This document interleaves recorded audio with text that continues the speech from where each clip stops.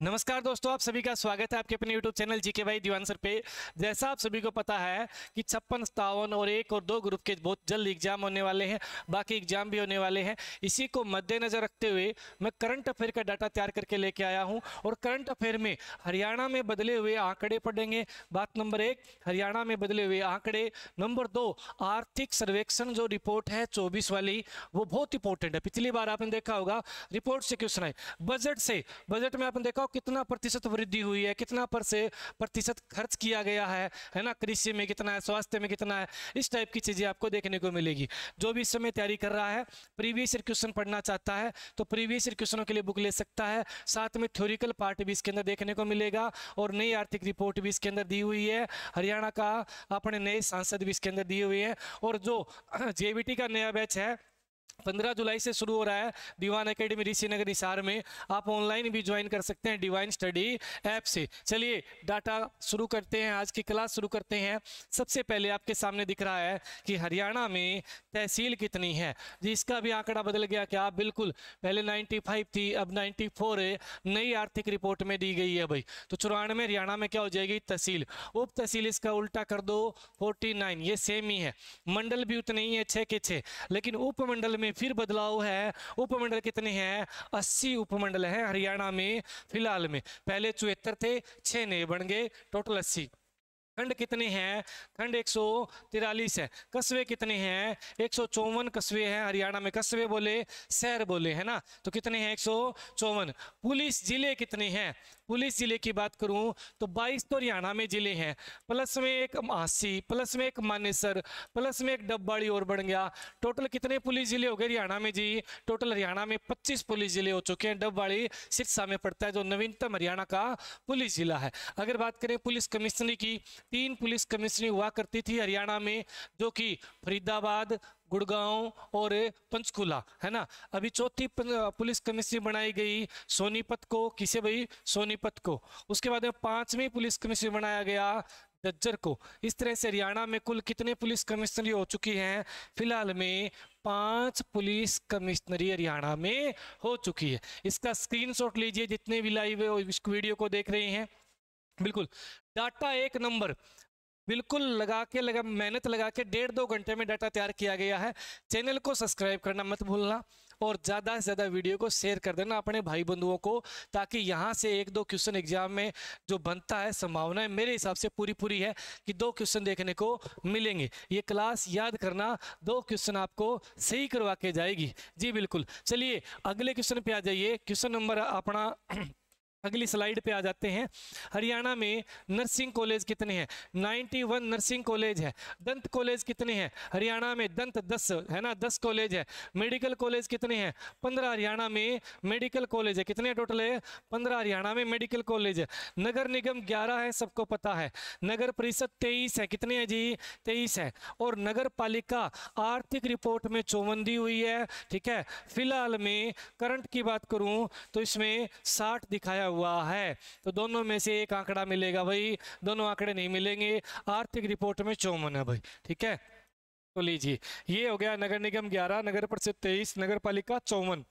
और वैसे टोटल साठ दिखा रहा है। ठीक है भाई? लेकिन आर्थिक रिपोर्ट में फिफ्टी फोर है। स्क्रीनशॉट ले लीजिए इसका। ले लिया होगा, उम्मीद करता हूँ। आगे चलिए। अगला देखिए, हरियाणा में आर्थिक सर्वेक्षण रिपोर्ट के अनुसार लिंगानुपात कितना लिंगानुपात हर दो महीने बाद डाटा आता है, लेकिन आर्थिक रिपोर्ट वाला ही चलेगा। आर्थिक सर्वेक्षण रिपोर्ट में लिंगानुपात 916 दिखा रखा है। कितना दिखा रखा है? 916 अपने बात करें एक हज़ार पुरुषों के पीछे महिलाओं की संख्या क्या कहलाता है? लिंगानुपात कहलाता है। 24 घंटे बिजली वाले गाँव कितने? मारा गाँव, जगमा गाँव के तहत अपने 1 जुलाई 2016 को ये योजना शुरू हुई थी। मारा गाँव, जगमा गाँव योजना, जिसमें मीटर घर से बाहर लगने शुरू हुए और 24 घंटे बिजली देना, चोरी को रोक कर ये मुहिम शुरू की गई हरियाणा सरकार के द्वारा, जिसके तहत फ़िलहाल में कितने गाँव को चौबीस घंटे बिजली मिल रही है? तो टोटल आएगा सतावन बानवे गाँव सतावन सौ बानवे गाँव को बिजली मिल रही है। ठीक है भाई? सतावन सौ बानवे गाँव को बिजली मिल रही है।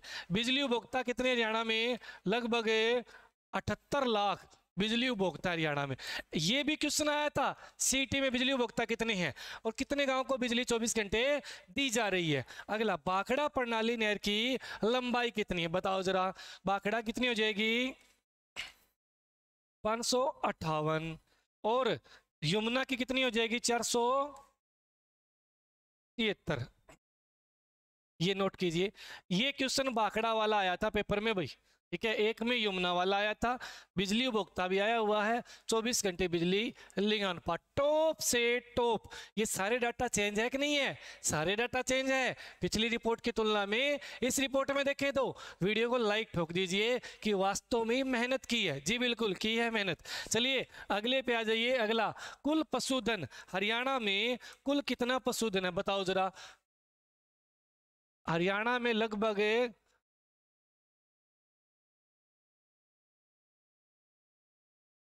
एक मिनट। इकहत्तर पॉइंट दो छ लाख। ठीक है, इतने हरियाणा में क्या है टोटल पशुधन है। इकहत्तर लाख याद कर लेना। इकहत्तर लाख पशु हैं हरियाणा के अंदर। चलिए, कुल पशु चिकित्सा संस्थान कितने हैं? अट्ठाईस सौ अट्ठाईस सौ, लगभग सत्तावन के नियर भाई है। अट्ठाईस सौ सतावन है याद करना भाई प्रति व्यक्ति दूध उपलब्धता कितनी है? एक हज़ार अट्ठानवे ग्राम एक हज़ार अट्ठानवे ग्राम है। उसके बाद में कुल पर्यटन स्थल कितने हैं? तो हरियाणा में टोटल पर्यटन स्थल बयालीस है। नई आर्थिक रिपोर्ट में भाई बयालीस, ठीक है? और ये प्रति व्यक्ति दूध उपलब्धता ही एग्ज़ाम में बार बार पूछी जाती है। एक हज़ार अट्ठानवे ग्राम नई आर्थिक रिपोर्ट के अकॉर्डिंग चलेगा, जो कि तेईस चौबीस की रिपोर्ट है। आई अपने तेईस चौबीस की रहेगी और डाटा होता है उसमें इकतीस दिसंबर दो हज़ार तेईस का चौबीस चौबीस की ईयर चल रहा है ना, चौबीस का साल, ठीक है भाई? सड़कों की कुल लंबाई, जो नेशनल हाईवे है, राष्ट्रीय राजमार्ग है। उनकी लंबाई कितनी हरियाणा में टोटल रहेगी तीन हज़ार इकसठ। और पीडब्ल्यूडी की कितनी है भाई? तीन सौ तीस देखो अब इन दोनों में फ़र्क क्या है? एनएच की लंबाई तीन हज़ार इकसठ किलोमीटर। यानी जो कि राष्ट्रीय राजमार्ग, यानी गृह भारत सरकार के सड़क परिवहन मंत्रालय के अंडर में आते हैं। ये राज्य के अंडर में है, ठीक है?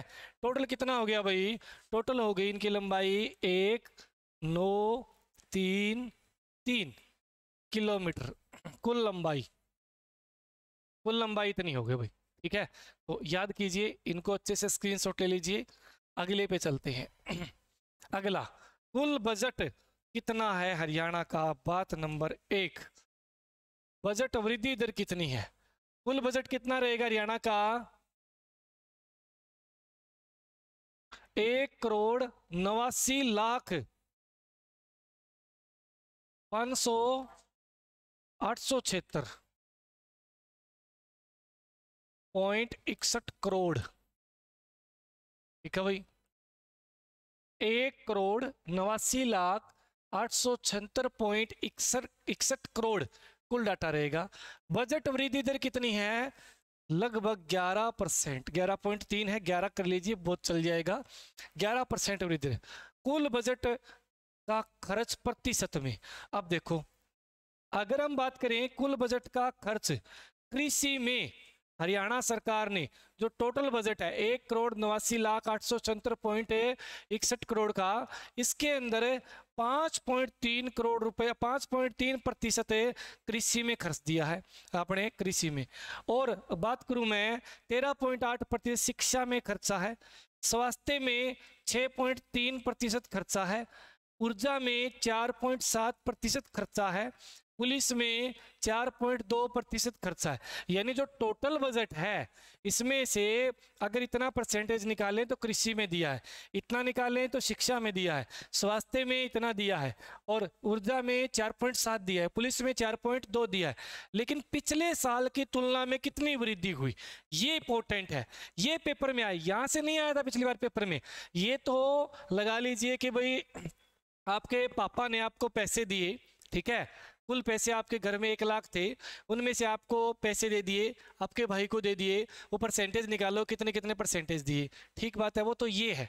अच्छा फिर आप याद करो कि आपको पिछले साल आपके पापा ने कितने रुपए दिए थे, सौ दिए थे, आज डेढ़ सौ दिए हैं। कितने परसेंट ज़्यादा दे दिए, है ना? तो इस पे आइए। यानी यहाँ पे अगर हम बात करें कि भाई जो पिछले बजट की तुलना में इस बार ज़्यादा खर्च किया गया है, बजट 2024-25 में क्षेत्र और चारवे करोड़ों में, है ना? ये 2023-24 का ये बात करें बाईस तेईस का, तेईस चौबीस का, तेईस चौबीस का संशोधित है और ये चौबीस पच्चीस का बजट है है ना? अगर हम देखें, अब वाला बजट ये है भाई, है ना? दिख रहा होगा सबको, अब वाला बजट ये है। ठीक है। इसमें पिछले साल की तुलना में देखो, तेईस, चौबीस से से 24 25 में, परिवर्तन प्रतिशत में। यहाँ से क्वेश्चन बनेगा, आपसे पूछेगा, शिक्षा, खेल, कला और संस्कृति में कितना परसेंट वृद्धि हुआ? 18 परसेंट वृद्धि हुई। कितनी है ये? 18 दिख नहीं रही तो मैं यहाँ लिख देता हूँ 18 परसेंट है भाई। अच्छा समाज कल्याण में ये आपको नहीं करना, आठ परसेंट है इंपॉर्टेंट बताऊँगा। स्वास्थ्य और परिवार कल्याण में वेरी वेरी इंपॉर्टेंट चौबीस परसेंट। कितने परसेंट है चौबीस परसेंट ये याद करना है। कृषि में अगर बात करें तो 34 परसेंट कृषि में कृषि में कितना खेतीबाड़ी में? 34 परसेंट पिछले साल की तुलना में। अच्छा सड़क हो गया, ग्रामीण हो गया, ऊर्जा हो गया, पुलिस का याद करना। पुलिस में छः परसेंट, कितना भाई? छः परसेंट पुलिस में पिछले साल की तुलना में अपने बजट में वृद्धि हुई है। सिंचाई में, सिंचाई बाढ़ नियंत्रण में तीस परसेंट वृद्धि हुई है। ठीक है भाई? ये आपको डाटा ध्यान में रखना है। इसका स्क्रीनशॉट ले लीजिए भाई। स्क्रीनशॉट ले लीजिए। मेरे हिसाब से आपको सही दिख रहा होगा। स्क्रीन के ऊपर, है ना? स्क्रीनशॉट लेके इसको जूम करके पढ़ लेना। अच्छे से बहुत इंपॉर्टेंट तथ्य है। चलिए क्वेश्चन नंबर नेक्स्ट पे आइए। हरियाणा में प्रति व्यक्ति आय कितनी है? तो प्रति व्यक्ति आय कितनी है भाई?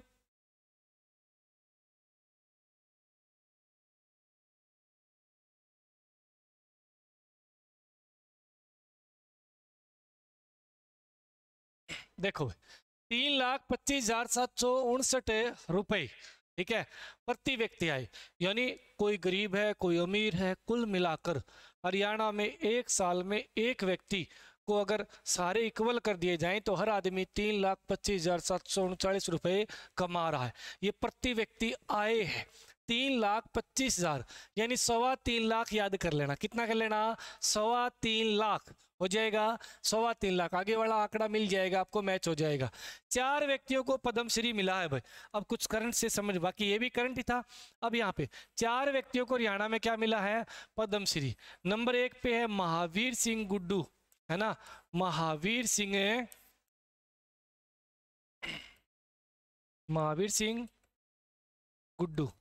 इन्हें मिला है साहित्य में भाई। किस क्षेत्र में मिला है? साहित्य क्षेत्र में मिला है। बहुत इंपॉर्टेंट तथ्य है नंबर एक। नंबर दो पे मैं बात कर लू तो नंबर दो पे है हरि ओम प्रकाश। हरि ओम प्रकाश। हरिओम लगा लीजिए सीधा सीधा। हरिओम हरिओम को किस क्षेत्र में मिला है? साइंस क्षेत्र में मिला है भाई। किस क्षेत्र में? साइंस क्षेत्र में। नंबर तीन पे अगर मैं बात करूँ तो आपका आ जाएगा हरविंदर सिंह। एक मिनट में गुरविंदर है, गुरविंदर गुरविंदर है भाई। गुरविंदर सिंह। गुरविंदर सिंह। गुरविंदर सिंह को मिला है समाज सेवा में। ये एंबुलेंस चलाते थे भाई, समाज सेवा में मिला है, हरिओम को साइंस में मिला है। महावीर सिंह गुड्डू, इन्होंने हरियाणवी पहनावे को आगे बढ़ाया तो साहित्य में आता है पहनावा। नंबर चार पे बच गया। रामचंद्र सिहाग। रामचंद्र सिहाग, इन्हें भी वही साइंस क्षेत्र में मिला है। इस क्षेत्र में रामचंद्र हरिओम को साइंस में है। गुरविंदर सिंह सरदार जी है, समाज सेवा एंबुलेंस चलाते हैं। याद करना, सरदार जी एंबुलेंस चलाते हैं। महावीर सिंह गुड्डू गुड्डू लेंगे लेंगेवाड़ा, हिसार में फ़ेमस है। लेंगा साहित्य में आता है, ठीक है? ये साहित्य में हो जाएगा। और कला साहित्य, कला में आएगा भाई इसका साहित्य नहीं करना, आपको क्या करना है? कला करना है, ठीक है? कला और साहित्य हो जाए, इकट्ठा होता है वैसे तो बात एक ही है, कला और साहित्य में, ठीक है? कला, साहित्य इकट्ठा बोल सकते हैं। तो इसका स्क्रीनशॉट ले लीजिए, चार व्यक्तियों को क्या मिला है? पद्मश्री मिला है। भारत सरकार के द्वारा पद्मश्री पुरस्कार दिया जाता है, जिसकी शुरुआत 1954 में की गई थी। चार प्रकार के पद, पद्म पुरस्कार होते हैं पद्म विभूषण पद्म भूषण और पद्म श्री। ठीक है तो ये चारों को पद्म श्री मिला है। बाकी पद्म भूषण और विभूषण किसी को हरियाणा में 24 के साल में नहीं मिला। ये कब की बातें कर रहा हूँ मैं?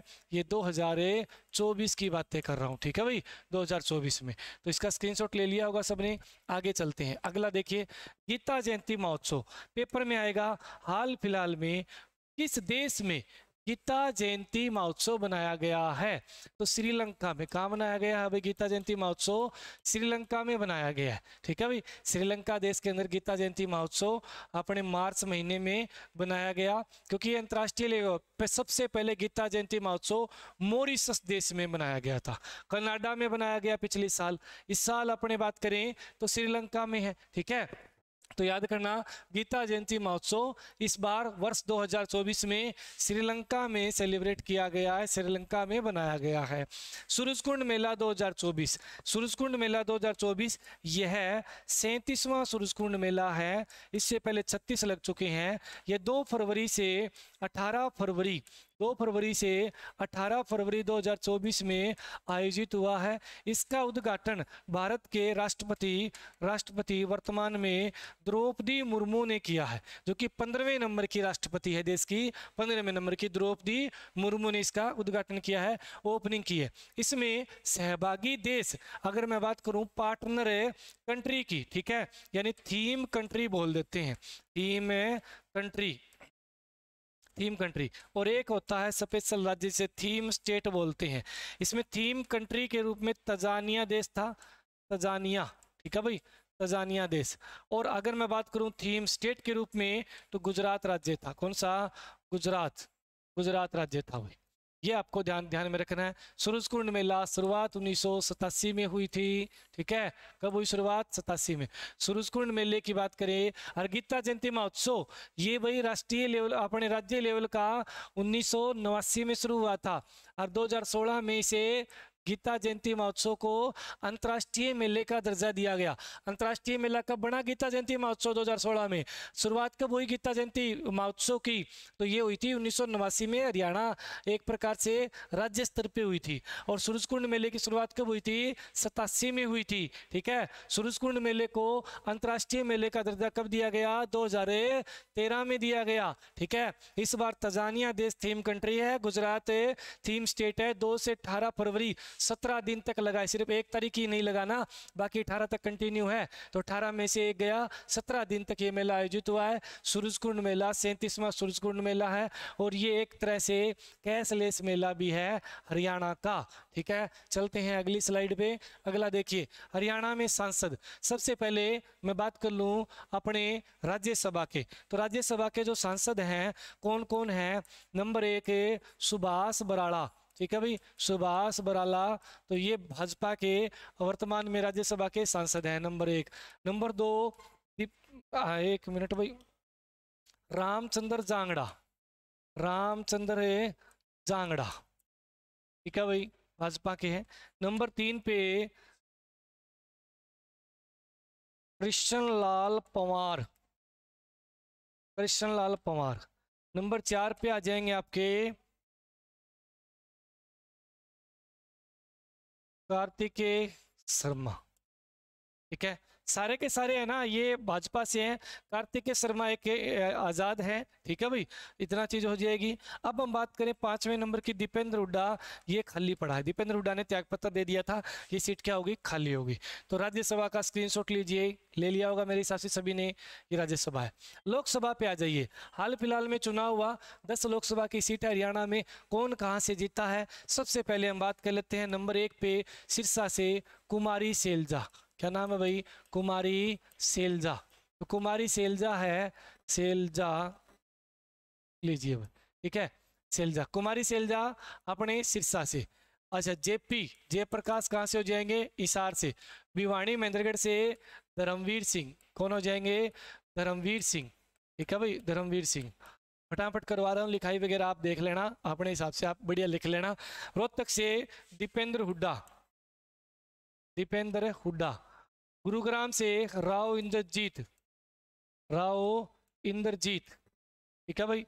सोनीपत से सतपाल ब्रह्मचारी सतपाल ब्रह्मचारी। ठीक है? अंबाड़ा से वरुण मुलाना वरुण मुलाना, और वरुण मुलाना मुलाना स्थान भी अंबाड़ा में याद हो जाएगा। कुरुक्षेत्र से नवीन नवीन जिंदल भाई। ठीक है? नवीन जिंदल। और अगर बात करूँ करनाल से मनोहर लाल खटर मनोहर लाल खटर और फरीदाबाद से कृष्ण पाल गुज्जर। ठीक है? स्क्रीनशॉट ले लीजिए फटाफट। स्क्रीनशॉट लीजिए। बहुत इंपॉर्टेंट है। राज्यसभा लोकसभा के सांसद याद करना बहुत इंपॉर्टेंट है। पेपर में क्वेश्चन पुट हो सकता है। अगर पेपर पहले का बना हुआ है, बात अलग है, लेकिन यहाँ से अगर अब फ़िलहाल फ़िलहाल में बन रहा है तो भाई पाँचवें महीने में इनका रिज़ल्ट आ गया था, ठीक है? छठा महीना भी बीत गया अपना पूरा का पूरा। छठा महीने छः जून, चार जून को आया था ना, चार जून के बाद। अब पेपर अगर चार जून के बाद बने हैं तो पक्का एक दो आधा क्वेश्चन यहाँ से देखने को मिल सकता है। स्क्रीन ले लिया होगा सबने, लीजिए अच्छे से, ठीक है? अगली स्लाइड पे चलिए। आगे नायब श्रेणी। नायब श्रेणी के बारे में सुन लीजिए आखिर में सबसे। अगर नायब सिंह श्रेणी की बात करें, हरियाणा के ग्यारहवें सीएम है। कौन से नंबर के व्यक्तिगत रूप से ग्यारहवें सीएम है? इनका जो जन्म है जन्म है, वो भाई अपने 25 जनवरी को 25 जनवरी 1970 में कहाँ हुआ था? मिर्जापुर। मिर्जापुर, माजरा गाँव पड़ता है। और ये गाँव पड़ता है जी अंबाड़ा ज़िले में। कहाँ पड़ता है? अम्बाड़ा ज़िले में। यहाँ इनका जन्म हुआ। तो मैं ऐसे बोलूँ कि भाई, हरियाणा निर्माण के बाद, हरियाणा का निर्माण कब हुआ? उन्नीस सौ छियासठ में।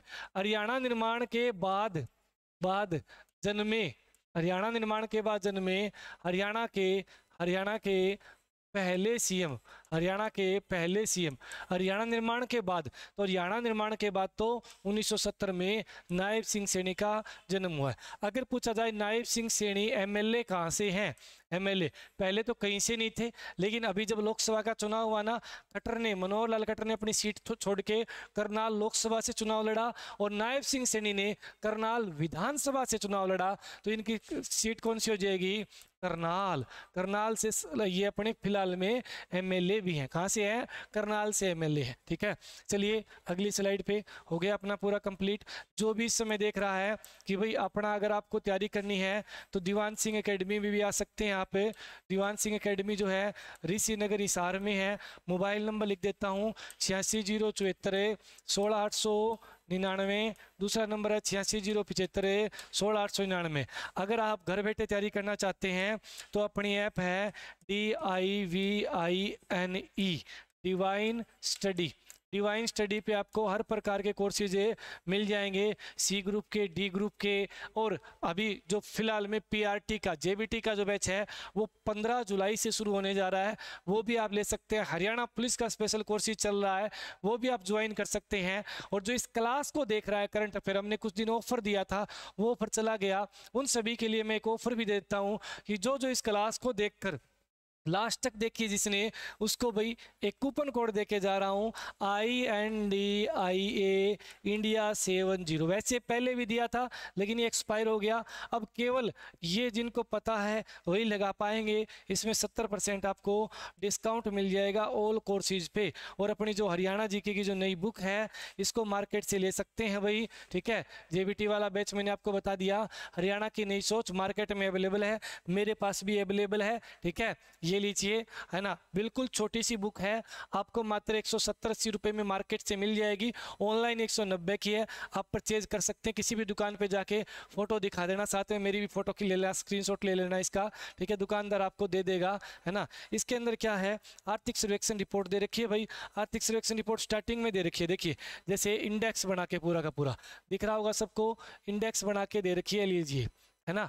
उसके बाद अगले पेज पे भी पूरा का पूरा इंडेक्स है, फिर कुछ डिटेल है, कुछ योजनाएँ वगैरह है और लास्ट में अपने चौदह टोटल मैं बात करूँ तेरह और अट्ठावन, तेरह सौ अट्ठावन प्रीवियस ईयर क्वेश्चन है। तेरह सौ अट्ठावन लास्ट में, ठीक है? यानी तेरह सौ अट्ठावन प्रीवियस ईयर क्वेश्चन बिना किसी रिपीट है, एक नंबर निचोड़ के साथ है ओपीसी आंसर के साथ इसके मैंने स्पेशल वीडियो भी बना रखी है यूट्यूब पे, आप अलग से जाके देख सकते हैं। इसके अंदर जो कंटेंट है, उसको मैंने पूरा पीडीएफ के थ्रू स्क्रीन रिकॉर्डिंग करके वीडियो डाल रखी है। धन्यवाद।